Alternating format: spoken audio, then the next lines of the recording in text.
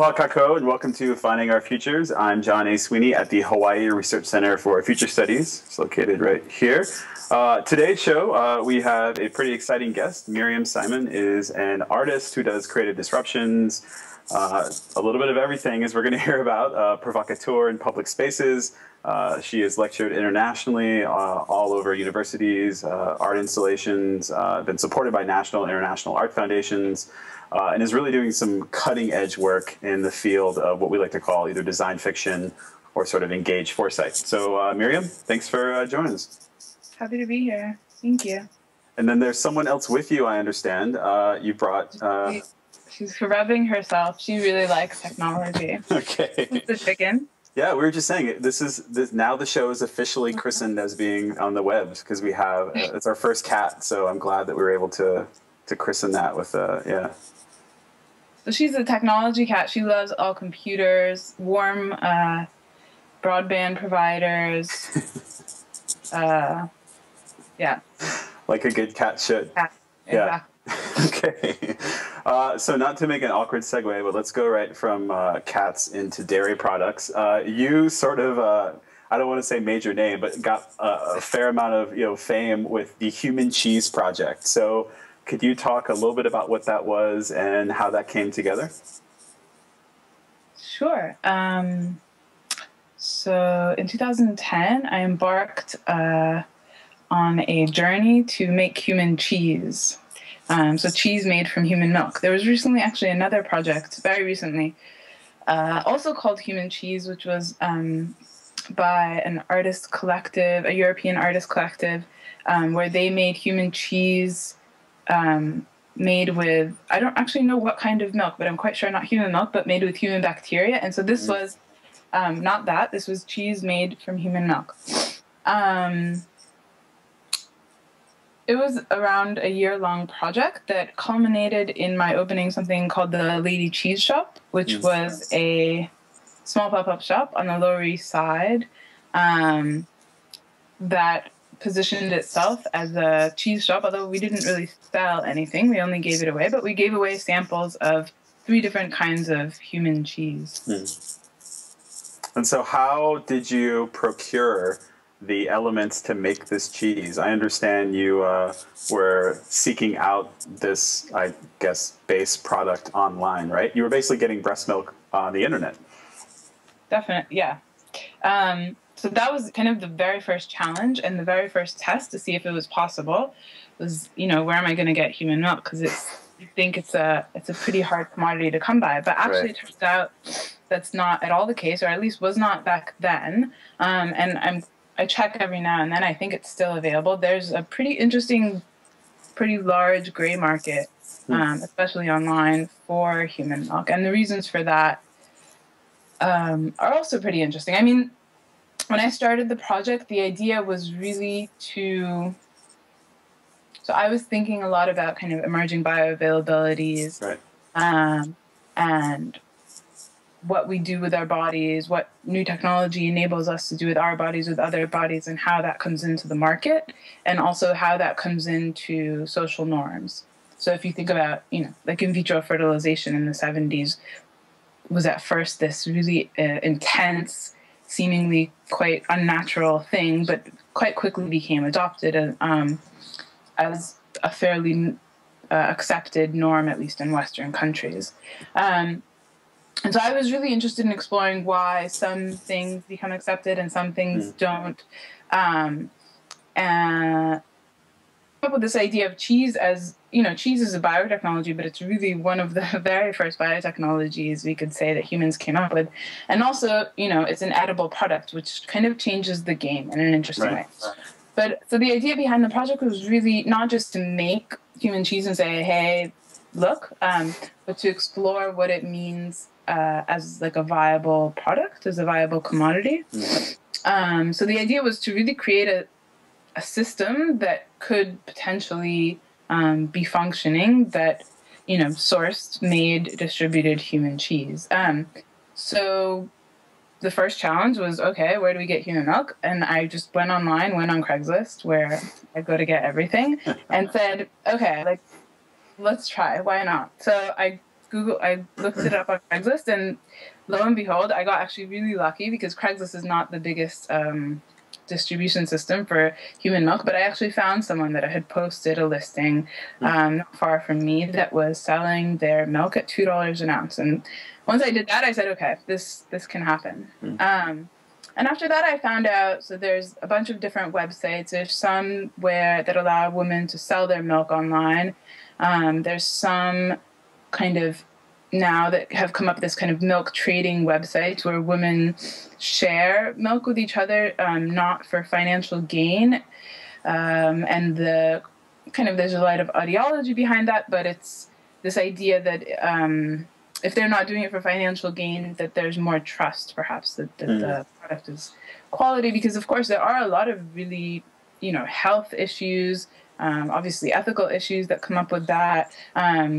But within the kind of gray market that is human milk trading online, because it's illegal to trade organs, and so they, that's why they call it this kind of gray market because it, it's not an organ, but it's obviously a bodily fluid and one that also can contain viruses. Mm.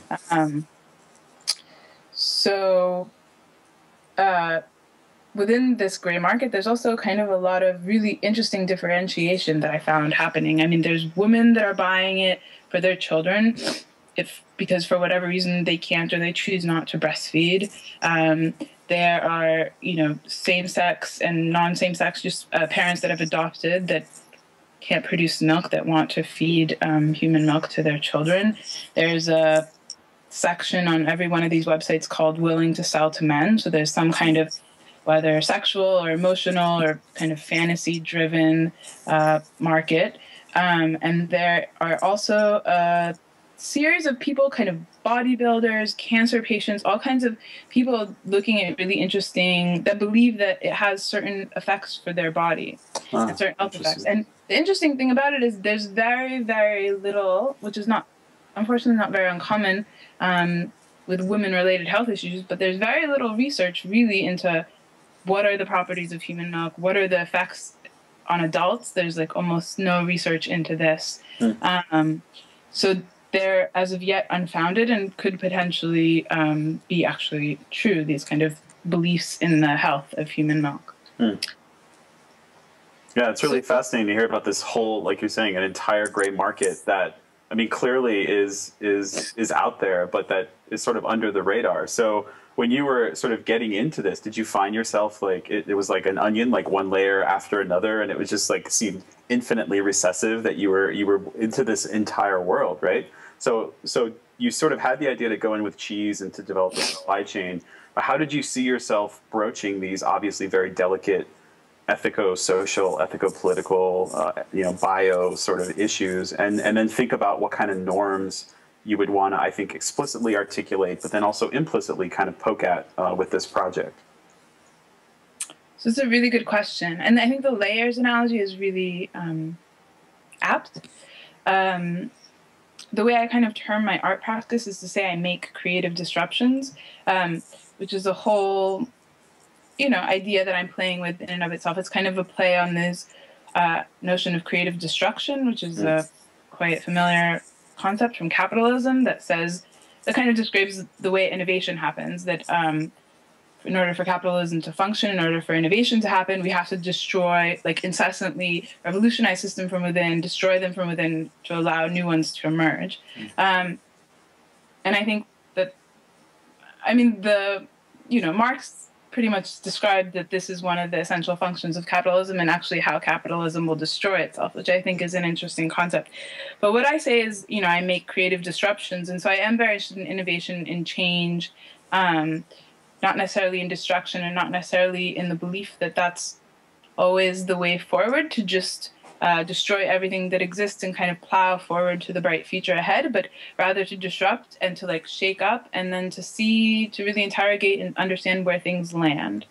Um, but all that is to say is that I make them, and that's a really important part of the work. So it's one thing to say human cheese, it's an interesting idea, let's make a, you know, a, a cheese container and leave it at that. And it's another thing to you know go through with the process and all of these really delicate and complicated um, issues around ethics, but also around understanding this very interesting market of grave market around human milk and also the history behind why that market emerged, which has to do with a whole other kind of historical and political um, situation around human milk banks that are associated with hospitals, at least in the US. Um, I'm not so familiar with the history in other countries, but um, all of these things I feel like um, are best dealt with and are can be understood in in in in the depth that's required really through going through this process um, you know I, so i made cheese i had never made cheese before and i learned how to make cheese. And i was making i was meeting these women. I was spending a lot of time with some of them um, discussing ethical issues helping them sometimes with their children um, just li- living with them being with them and then going home and taking their milk and making cheese out of it and smelling that and touching that and all of these um, kind of very visceral engagements uh, complicate any ideas you have off Right. the top of your head of like what are the ethics and Mm. what is the you know what are the norms around this in such an infinite amount of really interesting and important ways that um that yeah that i think the peeling the layers of the onion back is, is a really apt metaphor for how that happens So going into it, I mean, clearly you must have had some goals or, or some sense as to what you wanted to you know accomplish. Do you feel like the project turned out like you expected? The the response was there. Do you feel like it it blew away your expectations? I mean, clearly what you just said, like you there were there was an intimacy to this to this process, right? That you were sort of going through this and working through this, and, and not just you know dealing with these issues in a in a you know at arm length, but clearly grappling with them in the relationships you were building, right? In the actual going through the process. So how did how did that as an artist and and I I'm also wondering too, would you consider yourself a futurist with the work that you're doing? Uh, that, that term obviously has lots of connotations, but um, thinking about your imagining change and imagining technologies and imagining norms and disrupting them, it's a lot of what we talk about and do uh, in the futures field. And so I wonder if maybe you could talk a little bit about that as well. Sure. Um, do I consider myself a futurist? No. I think is the answer to that. question. Okay. Um, I'm really interested in future futurism, and I've um, engaged in my own way a lot with the with the methodology and with the thinking of that, and I find it really um, powerful mode to embody. Um, but I don't consider myself a futurist. I mean, I'm an artist and I'm really interested in change and I'm interested in how we think about change. And um, I think I'm actually, I continue to make these very uh, design fiction type, you know, work that can be understood as design fiction, but that's not the only work that I've made. And, and I've actually recently started thinking about, um, you know, change on a more uh, immediate. I don't know. The project that I'm working on now is looking at food and gentrification and kind of how um, gentrification is both, ex- or at least here in Brooklyn, is both expressed uh, and furthered through very much through food establishments. Mm. Um, so that's just one example. But I find futurism really powerful um, more powerful in engaging people in thinking about um, the implications of certain proposals, and a much more powerful one, really, than art. Um, so, in a way, I I use that tool um, to convey the message that maybe I'm looking to express with my art. If that makes any sense. Yeah, absolutely. I mean, I know that we we've sort of taken on in some of the the lineage of what we call the Manoa School of Futures. Uh, doesn't draw that sharp line, right? So it was an unfair question because we see ourselves as engaging, obviously, in the present and trying to disrupt and challenge and promote that kind of thought. So I think that I mean, obviously, many of us wish we had a more a more you know detailed or a better artistic eye, but I think that uh, that's that's the idea is to is to really engage people at that intimate level and to, to challenge them to think in ways that might not you know otherwise and, and even beyond thinking get them to feel right to actually have someone feel the future or to feel uncertainty and to sort of internalize that I think is is what art can do uh, and what more art should do. So yeah, it's exciting to hear. Uh, okay, so uh, we're going to take a quick break. Uh, we are talking to Miriam Simun, uh, world-renowned artist, famous uh, I'm going to say artist again, but put futurist and asterisk there because uh, obviously we would love to claim your work. uh, and then sort of uh, provocateur of creative disruptions and the originator of the, can we call it a movement now, a human cheese movement? I guess since it's sort of happening elsewhere. Or okay, all right, we can say that. Uh, yeah. So you're watching Finding Our Futures. I'm John A. Sweeney at HRCFS. Uh, stick with us. We'll be back in a flash. Aloha. I'm Nicole Horry for ThinkTech. For nearly half a century, the Hawaii Foreign Trade Zone Number 9 has brought the benefits of the Foreign Trade Zone program to Hawaii businesses and entrepreneurs. DBEDT, the Department of Business, Economic Development, and Tourism, operates Hawaii's Foreign Trade Zone program to encourage international business and economic development. The Foreign Trade Zone's mission is to increase the amount of international trading activity in Hawaii, thereby providing employment opportunities for the residents of our island state. For more information, see ftz9.org. I'm Nicole Hori. Mahalo. Aloha kako. Welcome back to Finding Our Futures. I'm John A. Sweeney at the Hawaii Research Center for Future Studies. Uh, for tuning in today, you are hearing really cool stuff from Miriam Simun, uh, who's an artist. Uh, again, we're trying to claim her as a futurist, uh, does creative disruptions, uh, provocateur of uncertainty and change, uh, world renowned, sponsored, amazing stuff. So, uh, when we left off last time, we're obviously talking about the very intimate, visceral experience you had with the Human Cheese Project, creating, like you said, not just an engaged experience, but having to go through and look at the pipeline and think about supply chain, and then obviously engaged in this this huge world. And so you mentioned also that you're doing now work with uh, gentrification and looking at food, and I also want to hear a little bit about the Ghost Food Project as well. So yeah, just maybe give us a rundown of things that you have or projects you're sort of working on, and then obviously we can we can spend a bit of time talking about Ghost Food too. Sure. Um, so before maybe I get into the rundown of projects, I guess in response to your question of features uh, and thinking about now, you can see that I'm working on, for example, three projects on food. So why food? I'm actually, um, you know, it's not that I really love to cook or anything like that, uh, but thinking, you know, thinking about kind of the methods of futurism and design fiction and using, kind of materializing all of these quite complicated, lofty, faraway, abstract concepts that futurism does deal with into this very material, experiential um, thing that someone can feel then. Um, that is kind of how I arrived at food um, because it's such a powerful medium. And you know, the Human Cheese Project was the first time I actually ever worked with food, and it was quite a complicated food to start with. But um, it's it's really interesting because um, everybody kind of feels uh, like they have a right to food in a way that not everybody feels like they have a right to art. Everybody is an expert, you know. We all eat every day, and we know what we like and we know what we don't like. And I don't feel like um, although there's certain a lot of kind of snobbery and uh, cuisine politics, especially here in New York, um, I don't think it's ex- is it as expressed as much. Um, and also just by the nature of it, I mean, you're putting it in your body. Um, so there's like a level of trust and a level of visceral engagement and a level of comfort with it that I find it a super powerful medium to work with. And at the same time, embodies technology, embodies social conventions, embodies ideology, embodies history, embodies all of these very human. Like it's you know it's one of the um, primary material cultures that anthropologists study. Um, so that's kind of how I arrived at food, and, and in that way, maybe that connects more to this um, futurist uh, thinking.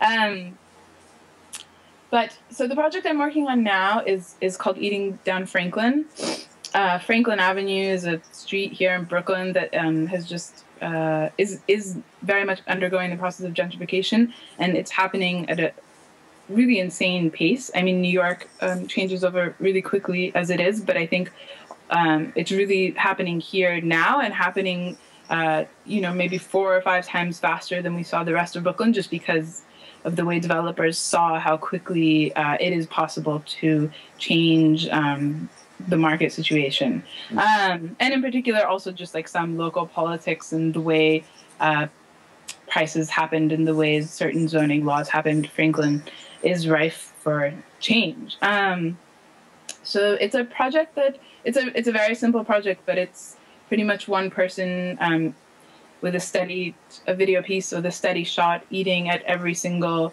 uh, food establishment on Franklin Avenue one by one in order. And so, you know, it's quite a simple act of them eating, but as you see the food that they eat and kind of the colors and the sounds in the background, you can see how quickly um, block to block or even not within block, you have um, kind of traditional Hasidic communities, uh, traditionally African American communities, pockets that have become gentrified, and kind of the the style, the colors, the culture, the food um, that comes with it, and how it's expressed and kind of also pushed by that. So that's a project I'm working on now, and then Ghost Food is a project that I've just uh, wrapped up for now um, because here it's now cold, and so we're taking a little hiatus until spring. But Ghost Food is a food truck that serves taste experiences of foods that are threatened with extinction because of climate change. And so the way these um, taste experiences are consumed is through a wearable device that I'm sorry, actually, I'm realizing I don't have it here with me now. Otherwise, I would put it on for you. Um, but it's a device that you wear, and it um, uses the fact that so much of our experience of flavor is actually an olfactory sensation. Um, so it uses scent to kind of trick the brain into mm. experiencing a flavor that is not necessarily eating, not hmm. necessarily mm. consuming, um, but nevertheless you kind of feel like what you're eating tastes like that. Mm. So the three foods that we serve are cod from the ocean, chocolate from the rainforest, and peanuts from the grassland. And all of those three species have particular challenges that they're facing in their particular climate as the climate changes globally. Um, so this was a food truck that traveled in October um, around New York, Philadelphia, and New Jersey. And we parked in the street um, and served people taste experiences with our army of Ghost Food staff.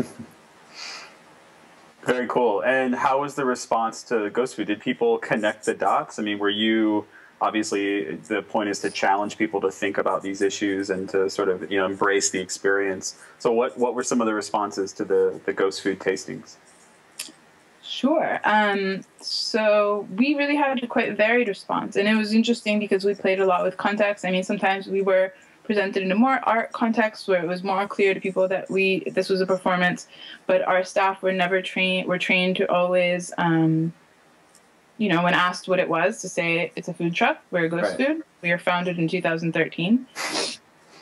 Um, but the staff are really there to kind of guide people and help them reflect on their experience and also help them um, understand, you know, if they're curious why it is that that they they have to eat chocolate milk with just regular milk and the scent of chocolate. What's mm. happening with chocolate? That was a very big concern that we encountered. Um, so they were there to kind of inform them about the particularities of, of drought and how that species is responding. Right. Um, but responses really varied, and I think that's really the interesting thing about making these experiential future um, experiences is that some people said tastes great, like it's fine. Glad that I'll still be able to experience chocolate even if it's no longer here, while other people um, kind of it affected them quite personally. I mean, the foods that were chosen were particularly chosen because they are something that I think most Americans, especially in the East Coast, have um, an experience with. I mean, chocolate and peanut butter, I think, are pretty national. And then cod. I grew up in Boston, so cod is a very kind of fish and chips uh, traditional food.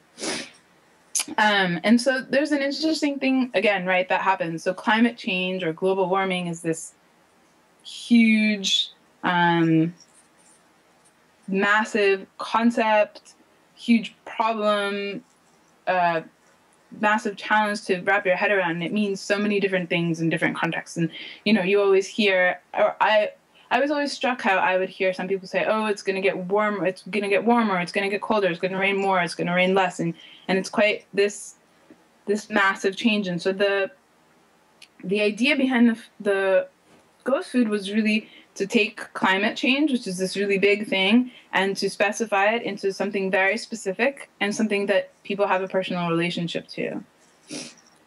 So even if you can't deal or don't care or even don't believe in global warming, um, peanut butter is like a lot easier a lot easier to, to deal with and it and it's something you know that you're experiencing the taste the smell um, and then so through peanut butter we lead you to the peanut plant mm. and then from the peanut you know from the peanut plant we get to the grasslands climate and then maybe from the grasslands climate and you understand that droughts are increasing in this particular climate and um, interestingly enough this actually isn't making peanuts extinct in and of itself but it makes them develop aflatoxin which is a fungus that makes them um, toxic to human consumption, hmm. which begs an interesting question of what happens to the peanut plant if they become inedible to humans, right? Hmm. And kind of leads to this um, very, for me, nice interwoven history of humans and other species and climate change and how it's it's not just as simple as the ice is melting, the polar bears are drowning,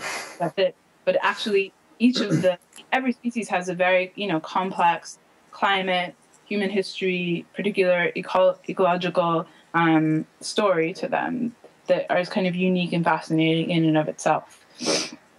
Um, but kind of in this way, it was this very specific and quite fun um, way to access this larger issue of climate change. A lot of people felt sad, um, which it was the first time that I've done a work where where people said, "Well, I feel really sad now," um, and at first I wasn't really sure what to do, but uh, or not what to do, but I, I, it was just a little bit somehow surprising to me. Um, but perhaps it's uh, necessary. I guess maybe they are articulating something that is. Um, I've you know I'm always I'm constantly sad about this, and this is kind of a funny way to to play with it, to work with it for me. And so I, I guess I was surprised. Um, like, have you not been sad until now, or, or surprised that this is what, what this right. particular situation right. has been sad? Yeah. But then again, you see, again, in response to the futurist question, um, with a lot of people, it was especially older people that have children. They say, "Oh, well." But I can't imagine a world where my grandchildren don't eat peanut butter and jelly sandwiches or don't know what the taste of chocolate is. Um, and so it's these personal hooks into these larger systems that, that become really powerful. Yeah, it's really interesting to see it provoke almost that nostalgia in people, right? But it's it's this reverse nostalgia where they're they're longing for these experiences, but for future generations. And and it's really striking how you're able to stage that intimacy and have people then work through the, the, the sort of supply chain, right? And to, you know, like you said, boil down what is a very big, you know, abstract concept, I guess, for a lot of people, and certainly for the deniers camp, right? sort of, and but to literally ingest what that means, or, or to inhale, I, I suppose, in this instance, right? To, to really intake that and to process it. Um, we've we've uh, obviously on a much smaller scale had experiences where we stage uh, an engaged sort of you know foresight future scenario and we've had people walk out of the room and it always tends to be when, when we bring up children or sort of future generations that seems to be a really intimate point of contact that obviously provokes a lot of emotion uh, which obviously with, with your work is the point right? You want people to feel this. You want people to, to really embrace that experience. Um, so you said you're going to start start this up again. When it gets a bit warmer outside you'll take the show on the road some more? Yes we're I'm working on that now. It looks like we might be in New Mexico, but nothing is yet um, planned. My hopes are to do a kind of a national, well, continental tour. Um, so let's see if that uh, materializes. Cool, very cool. Well, again, if there's any way to get you out to Hawaii, obviously that would be that would be great. I mean, I, I say that but with cod in the East Coast, there are conversations about the ahi or the tuna population here, which is a very big staple, and yet obviously there are huge issues with you know overfishing, and so people are basically having the same conversation, and that's what's really fascinating about. Even though your, your project was intentionally very provincial, uh, you could take that and it has ramifications, right, in a variety of contexts, and so it really opens up to a, a broader conversation uh, to try to get people to think about that sort of stuff. Uh, cool, very cool. All right, so we're going to take another break. Uh, we will be back in just a bit. We're hearing from Miriam Simun, uh, who is an artist, does creative disruption. She's talking about her new project on Franklin Avenue, where I think you can still get pretty good jerk chicken, right? It's been a while since I've been there, but yeah. Uh, and also the Ghost Food Project. Uh, so this is Finding Our Futures. I'm John A. Sweeney at HRCFS. Stick with us. We'll be back in a flash. Aloha. I'm Nicole Horry for ThinkTech. For nearly half a century, the Hawaii Foreign Trade Zone Number 9 has brought the benefits of the Foreign Trade Zone program to Hawaii businesses and entrepreneurs. DBEDT, the Department of Business, Economic Development and Tourism, operates Hawaii's Foreign Trade Zone program to encourage international business and economic development. The Foreign Trade Zone's mission is to increase the amount of international trading activity in Hawaii, thereby providing employment opportunities for the residents of our island state. For more information, see ftz9.org. I'm Nicole Hori. Mahalo. Aloha, I'm Maria Kashem of ThinkTech Hawaii, and I want to tell you about our ThinkTech talk shows. If you didn't know it, ThinkTech streams video and audio for all of its shows live on the internet from 2 to 5 p.m. every weekday afternoon, and we replay them all night long on ustream.tv. Visit thinktechhawaii.com for our live stream and YouTube links. Raise your awareness on ThinkTech. Aloha, I'm Jay Fidel of ThinkTech. We have some news for you. In addition to our ThinkTech TV show and our Asia in Review show on Olelo 54, as of January 1st, we're adding Community Matters to play also two hours a week. Check out thinktechhawaii.com for the specific times of each of these shows. We hope you enjoy all three. Mahalo, I'm Jay Fidel. Here, come on this. Aloha kākou and welcome back to Finding Our Futures. I'm John A. Sweeney at the Hawaii Research Center for Future Studies. Uh, if you've been tuning in, you've been hearing some really cool stuff from Miriam Simun, who's an artist who focuses on sort of food engagements, creative disruptions. Uh, her work with Human Cheese is world renowned. And then she was recently telling us about the gentrification project and then her work with Ghost Food, which was a, an engaged food truck experience to have people think critically and then also feel and sort of go through uh, these the ramifications of climate change and how it's going to impact food systems and then to deal with obviously the, the, the sort of bridge to tomorrow and thinking about this uncertainty. Uh, so as we were sort of chatting, we we're sort of going through the thread, and so what we were talking about is this question of, of futures and engagement. And you're saying in some ways that you sort of happened upon food because it was a very intimate way of, of sort of bringing people to think about that. And obviously, as an artist, uh, you're concerned about the full experience, right? Not just what people see, but the sort of totality of it. So, how do you see your sort of practice developing or emerging uh, in sort of future context, where where now I would say, at least from our experience, um, people are hyper stimulated, right? I mean, we live in a social sphere in a context where it's you know, if they're if you're not checking in on Foursquare or tweeting what you're doing instantaneously, you know, like so there's that deprivation. So do you do you find that your work attempts to engage uh, with with that aspect, or do you find that people are, are willing to sort of set that aspect aside? How do you, have you how do you see that fitting into your practice? The sort of uh, ubiquity of technology, other than obviously how you've integrated uh, new technologies into your work. That's an interesting question. Um, you know, as with almost every innovation and uh, element of progress, there are good and bad things, um, and things I fight against and things I embrace and help me a lot. Um, so, when I was training the Ghost Food staff um, in how to engage the audience, the number one thing I would tell them is you know, 80% of the people that you encounter are going to want to put this weird thing on their head, take an Instagram, and walk away. and your job is to get them to beyond, like one step beyond that. Mm. Um, how, like, how do we just get people to stop for a second and reflect right. on what's right. happened? Which I think, in and of itself, is, I mean, and there are a lot of people that write about this and say it better than I will, but that this maybe um, documentation has taken over the the part where you actually reflect instead of document. Right. Um, so in the actual experience, I I really work hard to to move beyond that because because everything I'm working with um, is dealing with complexity um, in a way.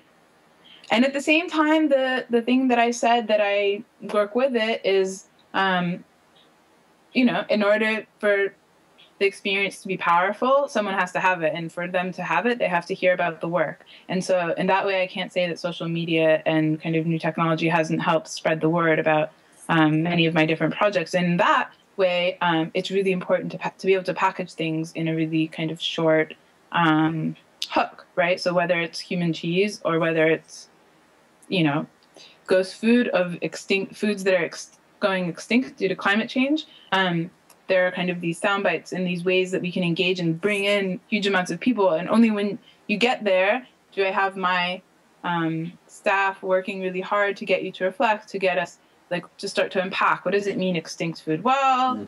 it's not extinct. Maybe that it just becomes inedible to humans, or maybe that it's not extinct. Maybe it's just that, um, you know, it's no longer going to be able to be grown in the place where for generations and generations people have been growing it. So what happens when you know all the apple trees or i mean apple is not a great example but all the fruit trees move like two countries north are all you know all the farmers are going to be able to move with them mm. um, and so you start to unpack these complexities and i think i mean yeah that's really what i'm what i'm after because i think in all of the i mean we are currently as a society obsessed with innovation.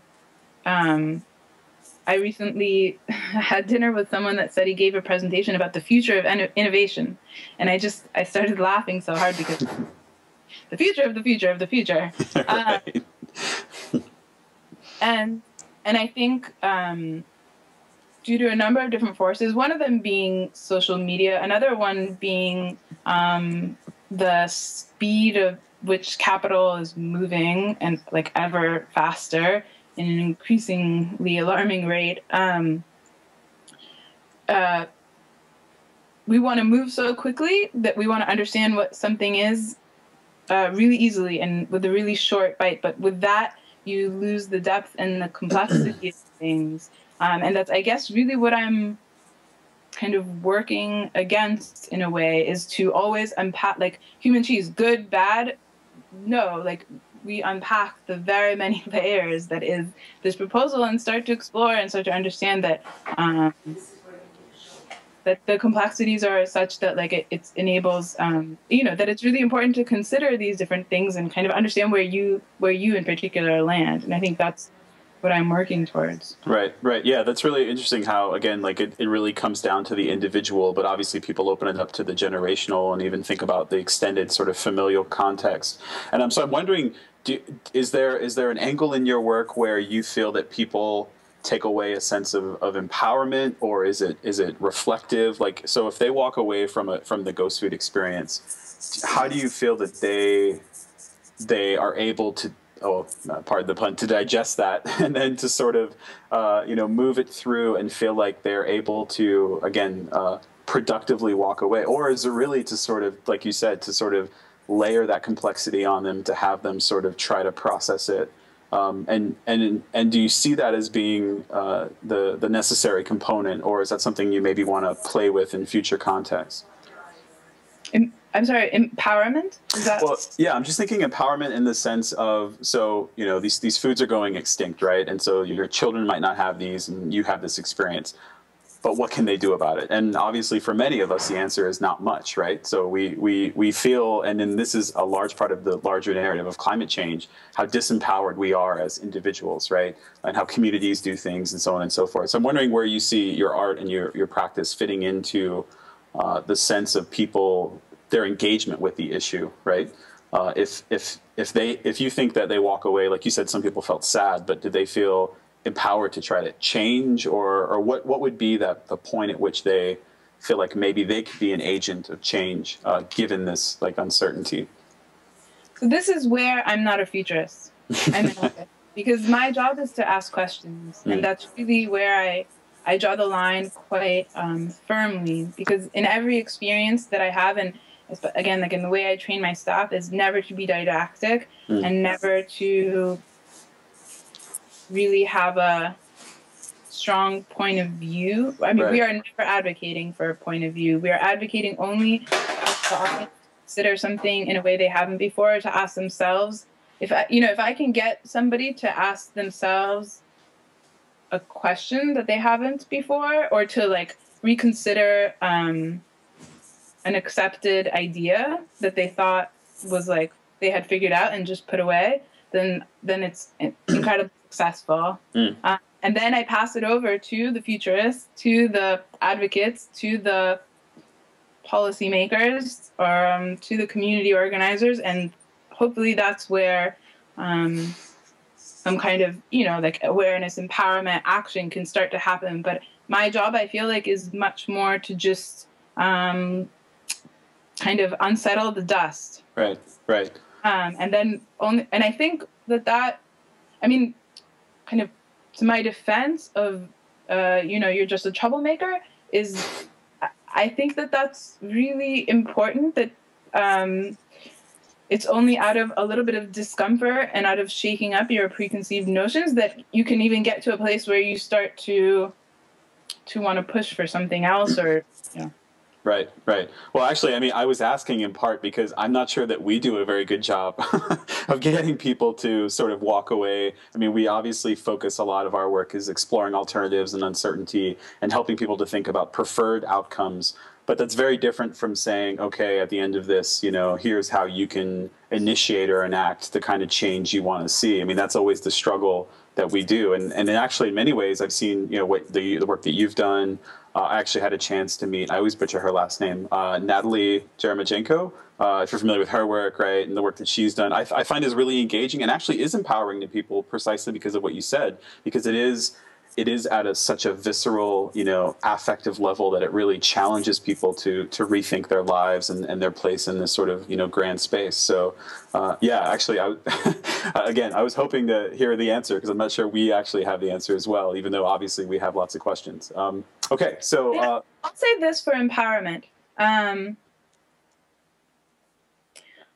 and I saw this particularly with the Human Cheese Project. To take a to take somebody um, through an experience where they come in knowing that the world is like this and coming out the other side, not even thinking that the world is different, but just saying maybe the world is not like this, maybe it can be like this also.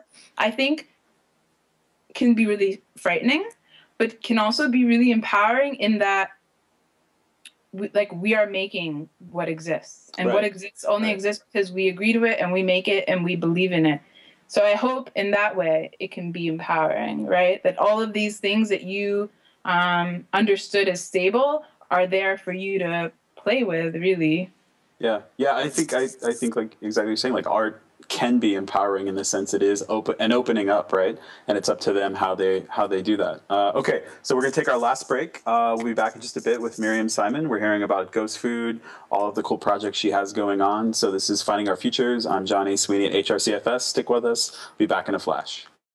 Aloha, I'm Jay Fidel for ThinkTech. For nearly half a century, the Hawaiian Foreign Trade Zone, number 9, has brought the benefits of the Foreign Trade Zone program to Hawaii businesses and entrepreneurs. DBEDT, the Hawaii Department of Business, Economic Development and Tourism, operates Hawaii's Foreign Trade Zone program. It does so to encourage international business and economic development. The Foreign Trade Zone mission is to increase the amount of international trading activity in Hawaii, thereby providing employment opportunities for the residents of our island state. For more information, see ftz9.org. I'm Jay Fidel of ThinkTech. Mahalo. Aloha kākou. Welcome back to Finding Our Futures. I'm John A. Sweeney at HRCFS. Uh, we are hearing from Miriam Simun, world-renowned artist, provocateur, maker of human cheese, uh, the genius mind behind Ghost Food. So uh, when we left off, we were talking a little bit about sort of how art can be empowering, and I wanted to just sort of segue into thinking about the kinds of audiences that you've had. Uh, I imagine in dealing with different sort of art communities, and then even dealing with uh, sort of like the food truck experience. Um, that I don't want to say class or or gender distinction, but like, did you find that there were a certain group of people that were repetitive coming to these things? Did you feel like you had a really interesting cross section? Who was sort of engaged in these these different projects? so context is everything. I mean, with Ghost Food, we were really lucky. Um, our presenting gallery was a Gallery Aferro, and they're based in Newark, New Jersey, which is a um, kind of quite a poor, uh, very working class neighborhood in New Jersey. Um, and then we were in Chelsea, which is a you know very wealthy, uh, very kind of New York art, the center of the New York art gallery scene. Um, we were in Philadelphia. So context is everything, and we encountered different people based on where we were. Um, and I think that just has to do with the fact of a little bit what I was talking about with food. I think with art, um, there definitely is a lot of class uh, issues and just a lot of cultural kind of mm. knowledge issues. Um, but with food, everybody feels they have a right to it, and everybody feels like an expert. And I think that that's a really important thing um, that I use in order to engage all kinds of different people. And I and I you know, I really try to because frankly, it's so much more interesting to have a wide range of people and to not only ever work with, um, you know, with the very particular art crowd. Right, right. Working on a project now, actually, um, that's a new kind of challenge. Um, that uh, I'm not gonna, you know, it's it's still in its very early stages, but basically, it's kind of a social experiment to. Uh, encourage intergenerational living um, particularly in kind of declining suburban American communities in the Midwest. Mm. Um, so I've just started working, um, and they're kind of in a way. This is like a more social practice piece, so it's very much working with people, and that that is the art project. Um, but so I've just started working with kind of um, rural and suburban, uh, that you know, Midwestern Americans in their 70s and 80s um, which has proven incredible. And then thinking about what happens when you pair those people with young, urban, creative um, types. Very cool. Yeah, and that obviously has been a huge issue as a variety of urban centers. I mean, obviously Detroit comes to mind, right? You have this sort of massive gutting out. Obviously, rent drops. Young artists, creatives can move in, and, and obviously it shifts. So uh, you mentioned a lot of the gentrification happening in Brooklyn. Um, so do you see yourself exploring?